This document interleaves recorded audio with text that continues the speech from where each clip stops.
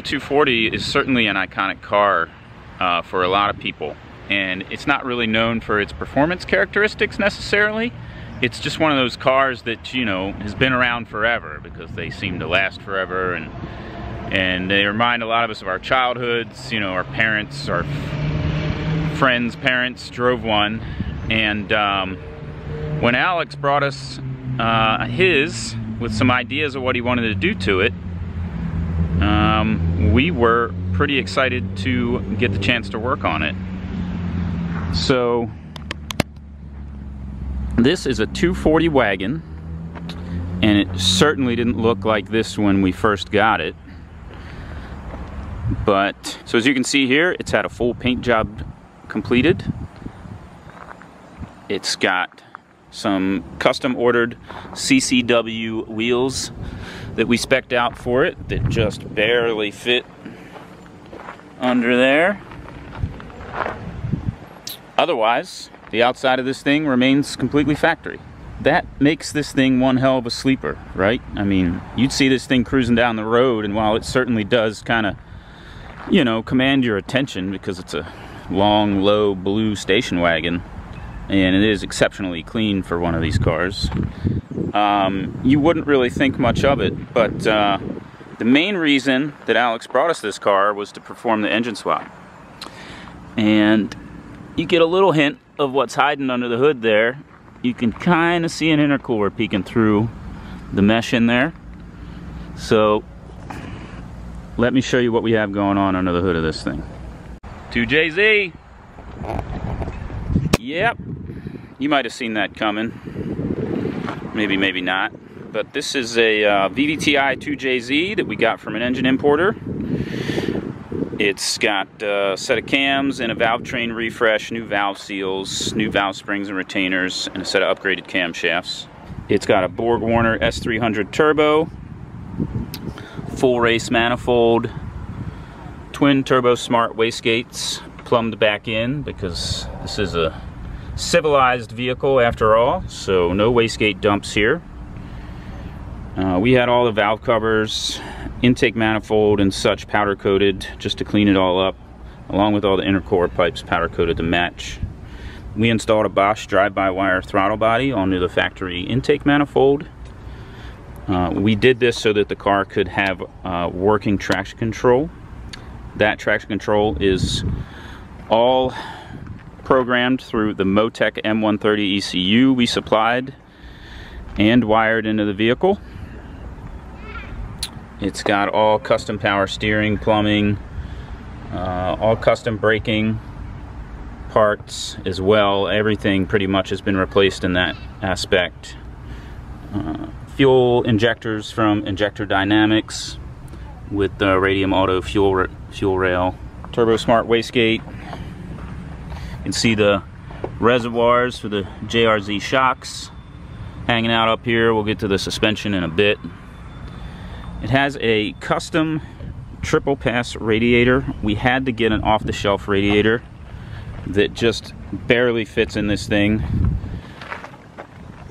Even though it's a pretty big car, um, things just barely fitting in it was certainly the, uh, the theme for it.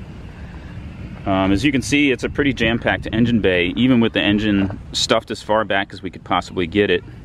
Um, 2JZs run inherently hot, and so we fit as much radiator as we could. We even modified it to be a triple pass and got two of the biggest, most powerful SPAL fans we could fit on here. Of course, most everything was custom made, the downpipe, of course, intercore piping and all of the plumbing, whether it be for fuel system, cooling system, power steering system. Everything was custom made for this application. Uh, we had room for a small Miata battery up front here in the factory location. Uh, all of the factory chassis harness uh, still exists, so all of the factory creature comforts are still there, including heat and air conditioning. You can see a AC condenser peeking through there in front of that custom radiator. Inside the car, it is not completely finished yet. It's actually gone off to an upholstery shop uh, now that it is finally leaving our place. But I'll show you some of the updates inside of the car here. We installed these Recaro seats with uh, some custom brackets and sliders. We had to add our own clutch pedal there. That was a little tricky, but uh, we got it all fit up in there. It uses a AR5 transmission and it's a five speed and it did not fit in the factory tunnel. So all of this trans tunnel was completely cut open all the way back to facilitate the taller gearbox and clearance for a drive shaft as well. But we did remount the factory handbrake here, as you can see, and it will get a center console put over it to cover it up uh, at the upholstery shop. So in addition to the Motec M130 ECU, we also added a Motec C127 display in a custom little enclosure there. And this just gives us all the vital data we need for the engine. Um, it lets Alex know what he needs to know and even some things he doesn't even need to know. You know, it's just good to have information and with all the additional sensors we have plumbed in, we have that. Otherwise, uh, all factory uh, converted to black, working on converting all the interior to black. Again, going to an upholstery shop. It's got the R Sport steering wheel and an old period correct JVC tape deck, which is gonna get replaced as well. It'll have a new stereo system installed in it. So once the upholstery and stereo work's done, this car will be, you know, quote unquote finished. So this thing is pretty, pretty sweet. And it is a blast to drive.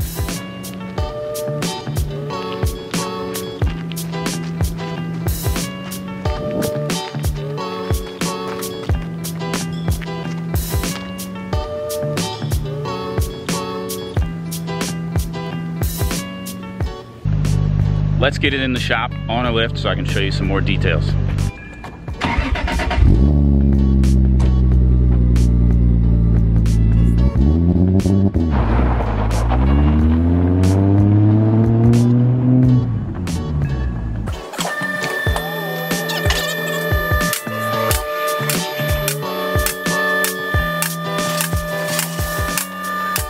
Let's start in the front and I'll show you guys the suspension here. Again all replaced with the Planky Racing products. And those are those JRZ two ways with some custom top hats that Ben makes as well. Very trick. It's got these massive Porsche brakes on it. Kind of tough to see up in there but uh, they are huge. Barely fit in the wheels. They're uh, 17 inch by the way these CCWs.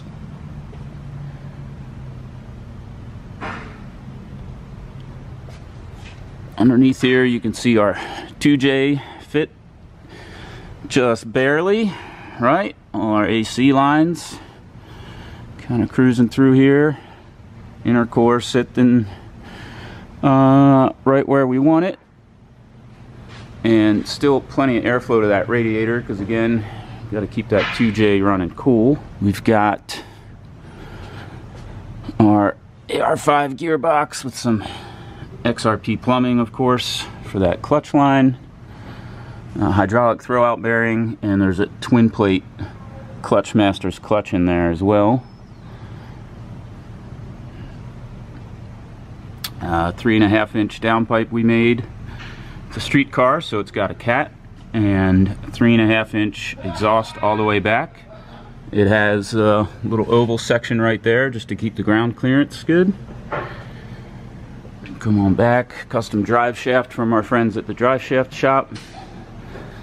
XRP fuel line to a IDF 750 filter. It's another signature move of ours. In the back here, more Kaplenke Racing products, these trailing arms, and the whole three link setup with the panhard adjustable panhard in the back use uh, Koni shocks with the Kaplenke Racing kit. Uh, in the diff we use a Wavetrac limited slip that we installed. And it's just a factory fuel tank with a Bosch fuel pump installed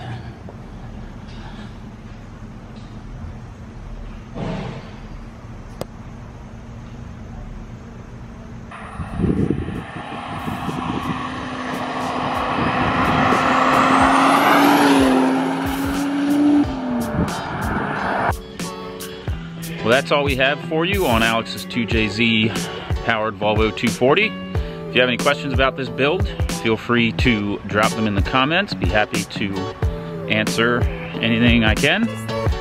And uh, if you're interested in a cool project, feel free to reach out to us. We're happy to help.